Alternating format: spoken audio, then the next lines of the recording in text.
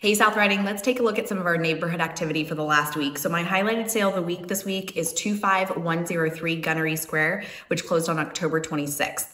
This was a three bed, three and a half bath interior townhome with a rear facing one car garage, and it was listed for 520000 It had hardwood floors throughout the main level, nice sized bedrooms. It fronted to common area, which made it feel like it was in a really tucked away location, and it lasted just three days on the market and closed for 545 Usually, I talk about the property that went under under contract the fastest, but this week we didn't have any properties go under contract in South Riding. So we'll move on to the property highlight of the week, which is a new listing at 26082 Sarrazin Drive. This is a five bed, three and a half bath, single family home with a two car garage, and it's listed for 968.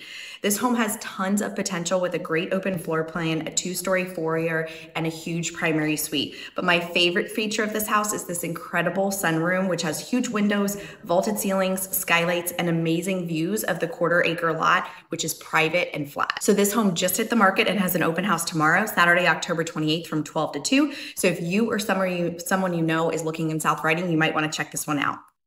And if you want to stay up to date with South Riding community news and events, be sure to check out our website at www.thewateridgegroup.com and click on South Riding under the neighborhood tab.